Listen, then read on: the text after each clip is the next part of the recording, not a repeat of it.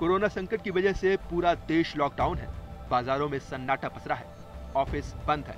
करोड़ों कर्मचारी work from home कर रहे हैं। यानी घर से अपना काम कर रहे हैं। 130 करोड़ देशवासी घरों में कैद हैं। बहुत ज़रूरी होने पर ही घरों से बाहर निकल पा रहे हैं। लॉकडाउन के इस माहौल में वीडियो कॉन्फ्रेंसिंग और ग्रुप चैट ऐप्स की डिमांड बढ़ गई है।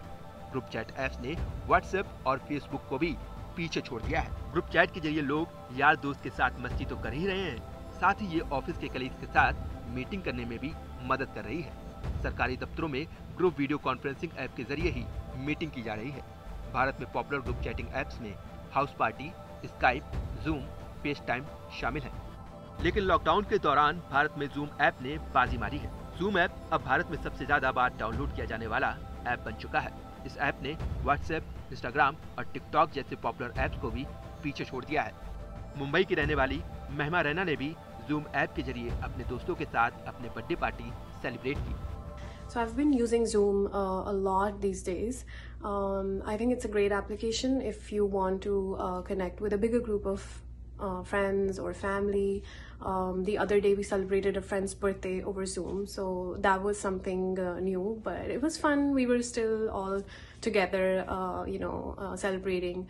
Um, and uh, I have also been uh, using Zoom to attend some online classes. Actually, I attended this meditation class um, on Zoom the other day, and there were 25 other people in that class and uh, that was something different and um, and it was it was a really good experience um, I know a lot of people are also offering uh, yoga classes uh, and dance classes uh, using Zoom. So, uh, so yeah, I think it's a great application. Um, Zoom एक free H meeting app है इसके जरिए user एक बार में ज्यादा से ज्यादा 100 लोगों के साथ बात कर सकते हैं ऐप की सबसे बड़ी खासियत है इसका आसान यूजर इंटरफेस इसके साथ ही जूम ऐप में कई और फीचर भी दिए गए हैं। जूम की तरह दूसरे वीडियो कॉन्फ्रेंसिंग ऐप भी खूब पॉपुलर है। व्हाट्सएप भी लोगों के बीच काफ़ी प्रचलित है। लेकिन इसमें सिर्फ़ आप चार लोगों को ही एक साथ वीडियो कॉन्फ्रेंसिंग में जोड़ सकते हैं। During the time of Corona, as we all know, we all have been asked to sit uh, at home and maintain social distance from everyone. Around and uh, not step out. So we are trying to do as much we can. Whatever has been told to us we are trying to follow it. But at the same time we would like to stay connected to our families and to you know be in touch with our loved ones.